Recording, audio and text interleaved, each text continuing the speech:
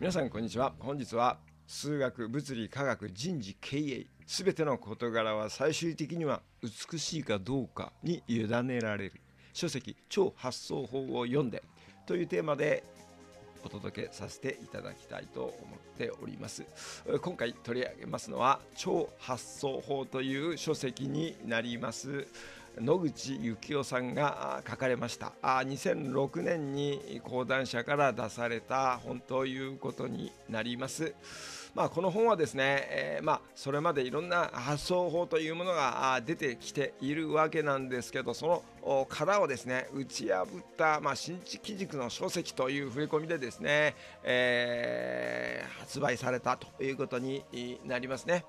えー、野口幸雄さんオリジナルのですね、えー、まあ、このアイデアを生み出すコスト技術これらのノウハウをですね惜しみなく披露していますよという触れ込みで、えー、ございます、えまあ、あの超発想法で、え基本的なですね原則が一数述べられているということなんですね。まずですね1発想は既存のアイデアの組み替えである。もう模倣なくして想像なし。2アイデアの組み替えは頭の中で行われる。3データを頭に詰め込む作業がまず必要。4環境が発想を左右する。5強いモチベーションが必要であると、まあ、いうようなですね、えー、ことをテーマにお話をされているということなんですね。そしてこの著者の野口幸雄さんという方は1940年生まれということですね、えー、まだご存命の方で、えー、ございます。日本のですね、えー、まあ経済学者さんであるわけですね。そして、えー、元ですね大蔵官僚の方であるということなんですね。そして研究研究分野は日本の経済論日本経済論うんファイナンス理論であるということですね。まあ、あの一橋大学の名誉教授でもあるということなんですね。えー、まあ、野口幸雄さんといいますとですね1993年に、えー、超整理法という書籍が大ベストセラーになったということで知られているわけなんですね。そしてこの今回ね取り上げている超発想法というのもこの超シリーズですね、えー、これの継続ということになっているというふうに思います。えー、まあ、私の方としてはですね、えー、この書籍をですね、えー、以下の3つの柱を中心にお話を展開させていただきたいなというふうに思ったということになりますね。まず1番目はですね、偉大な業績に不可欠なのは集中力である。そして2番目は模倣こそが創造活動の出発点である。そして3番目は発明とは選択、選択とは審美眼であるということですね。えー、まあそんな感じでですねお話をさせていただければと思っております。えー、そして本題に入る前にですね、えー、現在ですね、えー、このチャンネル以外に、本業のイラストとかギターの弾き語りのチャンネルを運営しております。またですね、え女性の猫とかあ女性とか猫のですねイラストを載せた Twitter のアカウントなども運営しております。えご興味ございましたら、ぜひね、説明欄のリンクからお願いいたします。あとね、えー、ご連絡とかコメントがございましたらですね、えー、Facebook メッセージの経由ということでお願いできたらばと思っております。えー、今回は超発想法という書籍をご紹介させていただきたいと思っております。著者は野口幸雄さんということになります。2006年に講談社から初版として出ている書籍ということになりますね。この書籍はですね、まあ、あの1993年に大ベストセラーとなった超整理法という本がありますね、えー、まあ、ビジネス書ということなんですけど、まあ、これを出されたのがあこの野口幸雄さんということで、えそれからですねえこの野口幸雄さんは、まあ、ビジネス本を定期的に出してより、えー、まあ、基本的にはその超なんとかというですね超シリーズというものを継続して出版されていらっしゃる方ということになります。まあ、今回もですね、えー、このビジネス書ということで、えーまあ、基本的には何ていうか、まあ、エッセイというかあそういうような感じでですねノウハウというかエッセイ集みたいなあ形で、えー、書かれているという書籍となっております。えー、まあ、この著者はですね、えー、まあ、東大ですね、えー、経済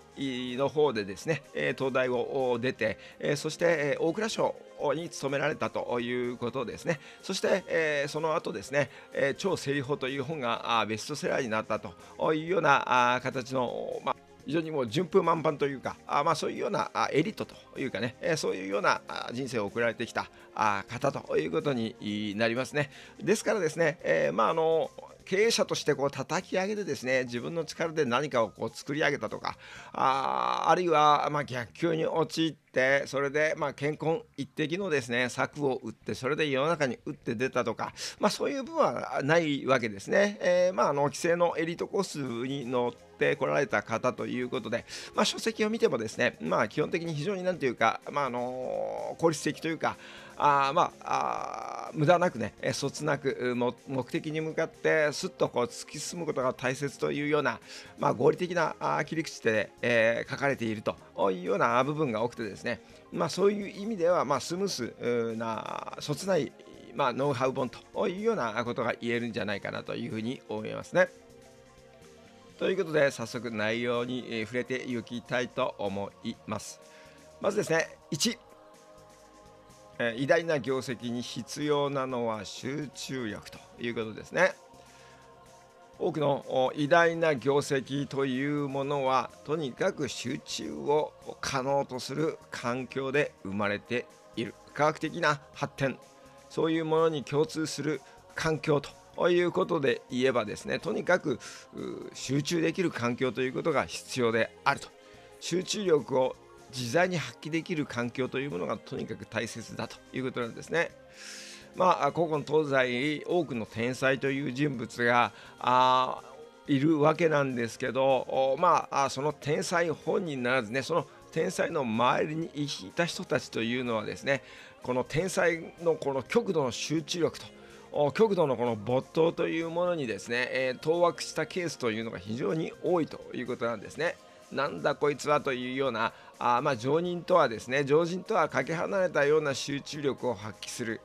しかし別の部分ではですね、えー、まあとんでもないポカとか天然ぶりを発揮するということが非常に多いというふうに言われているわけなんですね。まあ、天才といえばですね、えー、まず物理の天才といえばニュートンなんですけどこのアイザック・ニュートンはですねプリンキピアというものを若い頃にこう執筆したわけなんですけどこれにですね、えー執筆に集中してた時にはですね、まあ、夕食を、まあ、お手伝いさんとか家の者がですね作って、えー、そして、えー、食べさせると持っていくわけですね、えー、そして彼の部屋に持って行って、えここに置いておきますよみたいな感じでですねニュートンに食事夕食を渡すわけなんですけどそしてニュートン、あ、分かった、ありがとう、みたいな感じで言うわけなんですけど、ふと気づくとですね、えー、そのままであると。翌日とかですね朝ようやく気づくと要するに夕食を食べ忘れるということがね、えー、何度もあったということなんですね。そして、えー、友人がですね、えー、ニュートンのもとに訪ねてきてですねいろいろとこう話をしようと思って、えー、こう訪ねてきて「ようこんにちは」みたいな形で行く行きますねニュートンのところにそしてニュートンは「お起きた」みたいな感じちょっと待っててみたいな感じでですねニュートンが答えるわけなんですけど待っててども待てどもなかなかニュートンが出てこないということでどうしたかなと思ったらですね仕事に没頭していたと要するにまあ仕事に集中しすぎて、え友人を忘れてきてしまったと。忘れてしまったと尋ねてせっかく訪ねてきてくれたのにと、まあ、いうようなねこともあったということなんですね。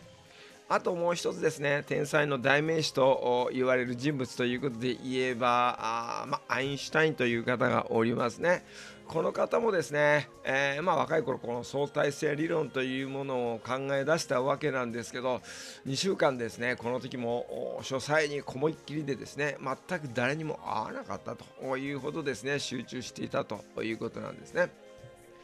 ここでね野口さんはあまあこう言います人間の能力というものはさほど高くないんで複数の仕事を同時進行ということで進めるのは非常に難しいよということなんですね。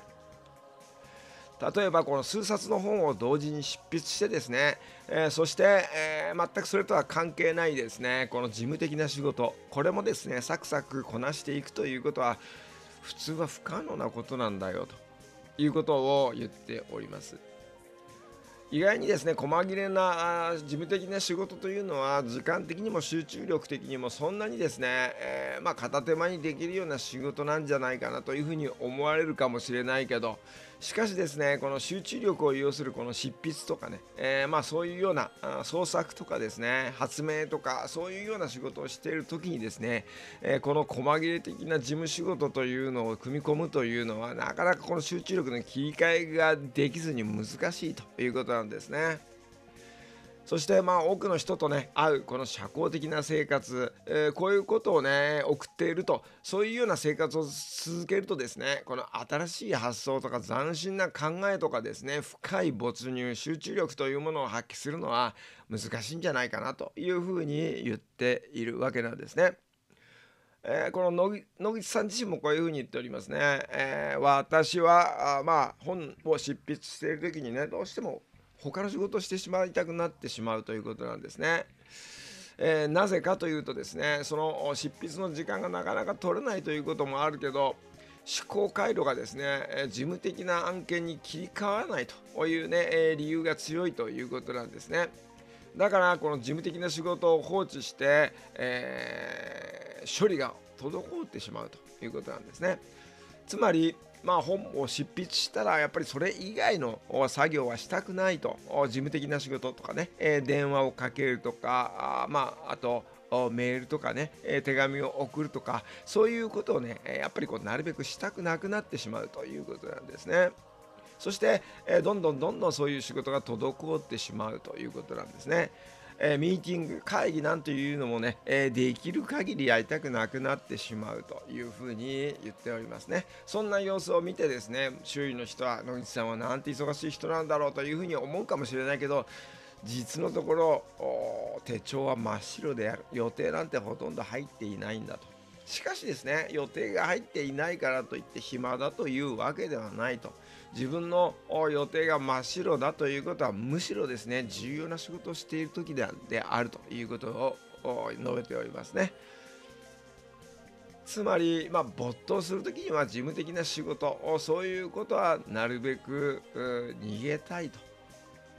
面倒くさい仕事細かい仕事から逃げてですね徹底的に集中したい状況になるものだよということを述べておりますその切り替えが難しいということなんですね。そして次に2ですね。2番目。模倣こそが創造活動の出発点。ということでお話をいたします。模倣ですね、えー、模倣こそが、まあ、創造活動の出発点であると野口さんは述べておりますね。模倣なくして創造なしという言葉がありますけど最先端の研究に携わる人なら誰にでもですね、えこの言葉を痛切に思うんではないかということなんですね。とにかく知識を詰め込まなければ考えることも発想することもできないもんだということなんですね。まずですね発想というのはそもそも知識から成り立っている発想は知識がなければ発想というもの自体がありえないというふうに言っているわけなんですね。だから知識が頭の中にこう目いっぱい詰まっている人という人であればあるほど新しいアイデアを生み出しやすいということなんですね。まあ、製品というのは原料があって初めてできるわけなんだからあまあこの原料をたくさん持ってればいるほどですね新しいアイデアを出しやすいということになるのは当たり前のことだと述べております。まあ、実際的にですね、まあ、この独創的な業績を残した多くの人がですね実は非常に博学でですね多方面の知識を持っていた人であるというケースは非常に多いということなんですね。えー、まあ物理学者数学者で有名なフォン・ノイマンという人がおりますね、えー、まあ、この人はね、えー、まあ、物理学工学機械、え計算機械学というようなね計算機械学というような分野経済でもそうですけどね、え有名な人で20世紀の科学史における最重要人物というふうに言われているんですね。えー、まあ、コンピューターの父とも言われてるぐらいの人なんですけどこの人もですね、えー、子供の頃から非常にさまざまなことを記憶していた人物であるということなんですね。例えば、まあ、古典で有名な二戸物語というものがありますね。えー、これをですねえー、子供の頃ですねこのフォイン・ノイマンはですね、え、まあ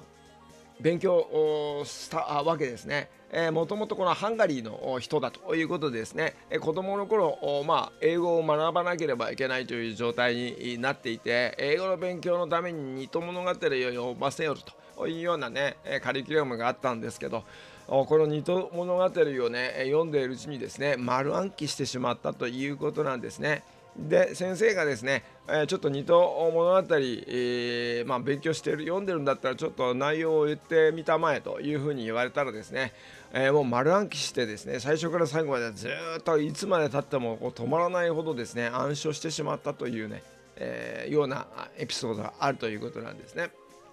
えー、もう一人ですね、え、経済学者にサミュエルソンという人がいますけどこの人もフォン・ノイマンにね似たような状況であったということなんですね。まあ、彼が書かれた経済学というですね、えー、まあ、本があるんですけどね、まあ、これは何ていうかあの経済の中でですね、まあ、古典中の古典と言われたような書籍なんですけど、まあ、この書籍を開くとですねまあ、そのいろんなこのエピソードとか事例とかですね例えとかあそういうものがですね非常に多いということでね、えー、一度驚愕するというんですね。まあ経済学のね、えー、全ての専門書を読んでこれを書いているんだから当たり前だよというふうに、まあ、サミュエルソンは言ったというんですけどね、えー、まあ一冊の本を書くにでもこれだけですね、えー、莫大な知識があるのかというふうなあ印象を与えるほどの本であるということなんですね。えー、まあこの2人に限らずですね創造的に人間の多くというのは、まあ、こういうパターンが多いということなんですね。大量の知識を非常に持っている人が多い。驚くほど博識である人が多い。そして偏ったですね専門的なものばかりではなくね、えー、古今東西のねえー、ものに対してこう精通している人が多いということなんですねそしてその外泊な知識からですねさまざまな素材をピックアップして組み合わせて発想していた、まあ、それがですね、えー、こういう優秀な人たちであるということなんですね。ですからねこの創造的な仕事をした人があ、まあ、無知であるとかね天然であるみたいなあ話が時々出たりしますけどそういうのはですね、えー、ありえないということなんですね。それなりの仕事をしている人は基本的にほとんどね、えー、博学な人が多いということであるということなんですね。そして3番目ということになりますね。3番目は発明とは選択。そして選択とは審美眼というね、えー、ことなんですね。極めてね多数の知識。そして、えー、極めて多数のですね、えー、まあ、似たような事例とかそういうものをね、えそういう知識があればあるほどですね有利であるということは先ほど述べましたけどそれらのね、え、組み合わせが大切であるということになりますね、え、知識と知識の組み合わせそれが大切であると。そういうふうな組み合わせというのはアイデアというんですけどこの多数の組み合わせの中からですねではどれがですね、え、必要なものでどれが不要なものかどれが有用なものであるってどれが無用なものであるか。あその選択ですね、えー、どうやってこう選び出すことができるかということが非常にね、え、大切であるというふうに言っているんですね。これはですねしかしなかなか難しいことであってね、えー、なんか非常にこの微妙な部分があって、え簡単には、え言い表せない。いろんなアイデアがあってこれがいいというひらめきみたいなものをですねじゃあそのひらめきはどこから来ているのかというのはなかなか難しいわけですね。しかしですね、えー野口さんはここでですねそれに対して必要なのは実はね神秘的感情じゃないかというふうに言っておるわけですね。神秘的感情というのは要するに神秘眼ですね。美しいものを見極める目と書いて神秘眼と書きますがこの神秘的な感情要するに美的センスですかね、えー、こういうものが必要だというふうに言っているということなんですね。つまりですね、えー、アイデアというものまず知識を取り込んでそして知識と知識の組み合わせがアイデアとなる。そして、えー、その組み合わせからですねいろんなものを並べてみて、えー、その上をね、え選ぶというそういうようなことをやる現象というのはですねとにかく感受性というものが大切だ。あるというんですね、えー、知識というのは確かにね、えー、そのまま受け止めればいいことかもしれないし組み合わせというのもですね、えー、こう並べて、えまあ、整理してね、え見ていけばいい。しかしこれがいいというのは今度はそれと違ったねロジカルシンキングではなく、まあ、感受性とセンスですね。というものにつながるということになるわけですね。ですからね、えー、ちょっとこう違ったセグメントということになって、えー、でもねこの感受性センス神秘感というものが非常に大切であるというふうに言っているわけですね。例えばですね数学の世界もそうですね、えー、数学の世界の中でのですね発明とか発見とあるいは証明ということをするわけなんですけど、まあ、この世界においてですね数学なんていうのはロジカルな部分の一番先を行く世界ですね。最もこのロジカルシンキングが大切な世界ということになるということなんですけどここでもですね決定的な発明とか発見とかする場合にですね大切なものはですね感受性である。つまり神秘性でありセンスであるというふうにね、えー、言われているものなんだよということなんですね。まあね数学の証明とかね発明とか発見というものはセンスが大変であるということなんですがそれはですね、えー、数学のみならずですね、えー、発明というものその機械とかそういうものの発明ですねまあ新しいビジネスの発明でも構いませんし数学的なその抽象的な概念の発明だけではなくね、え物理的なものとかあそういうものの発明、えまあ、ビジネスにおけるですね、えビジネスパターンの発明でもいいですけどね、えー、そういうものの発明というのも結局はですね、え、この審美眼というかセンスが必要であると。そしてこのセンスというのは何かというとすなわち選択であるということなんですね。選択というものはあ結局物を選ぶというのはですね確かにこの合理的な理由で、えー、こっちやった方が効率的であるこっちでやった方が得であると A と B と比較してこっちの方がですね、えー、やっぱりこの有利に働くから A を選ぶというようなあ問題になるとは思うんですけどこういう複雑なものとかね非常にこの入り組んだ問題になるとなかなかそういう簡単にですね合理的にはいかないというところがありますよね本当にどっちに選んでいいかわからないというのは単純な問題ではなく複雑になればなるほどなかなか判断に迷うということが多いのが現状だと思いますねしかしですねそういう時に本当にこう頼りになるのが、まあ、このセンスすなわち審美眼だということなんですね。ですからこの、まあ、ひらめきとよく言いますよね、えー、判断とかそういうものも全てひらめきだと言いますね。その、まあ、一種のインスピレーションというも取れと言えると思うんですけどね、えー、まああこの確信というものはどこから来るかというと結局はね審美眼とかセンスでありまあ、簡単に言ってしまうとですね2つ A と B のアイデアがあってどっちを選ぶかという時にですね結局は人間はですね美しいアイデア素晴らしいアイデアというものは美しいアイデアで美しいアイデアというものは醜いアイデアと比べると正しいアイデアである確率がはるかに大きいものだよというふうに、え言っているということなんですね。そしてこの美的感覚というものがですね、え非常にこう重要な役割はするの役割であるということはですね数学とか物理とか発明とか発見に限ったことではないと。もう研究とかねそういうものだけでもないと。もう全てですね、えー、経営とかですね、えー、まあ、人事とかあ人間関係とかそういうものはですね結局はですねその審美眼というものが非常に大切だってですね、えー、直感的な判断というのは結局はこの美的センスの問題美的な感覚の問題であるのだというふうにまとめておられます。ということでですね、えー、野口さんの書籍からのお話はあここまでということになりますね。えー、まあ、ここからはですね、ちょっと、まあ、私見というか考えたことなんですけどね、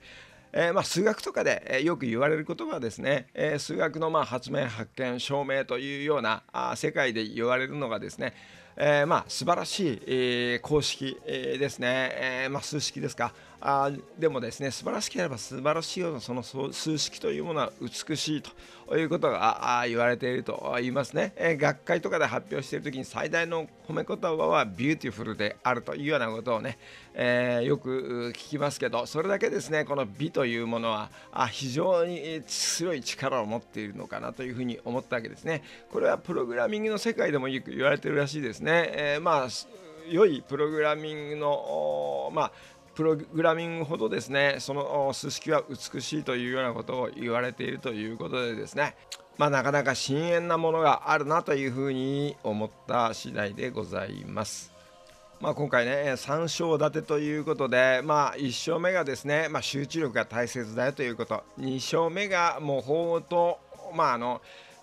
模倣ですよね。模倣とあと知識が大切だよと。そして、え、3つ目がその審美眼。あ美のセンスであるというようなことなんですけどね、えー、まあ、私自身もですねその